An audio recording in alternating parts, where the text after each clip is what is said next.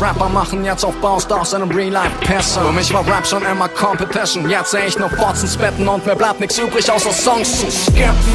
Yeah, fuck ist okay, kann ja sein, dass du ein Rapper bist, doch na, Digga, nee. In deinem Game hast du ja echt krass auf Chef, aber was machst du, wenn ich auf den Reset-Button press?